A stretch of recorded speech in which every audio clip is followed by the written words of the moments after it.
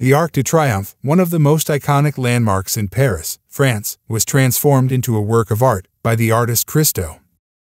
The temporary installation, which was on display for two weeks, covered the arch in a shimmering curtain of silvery fabric.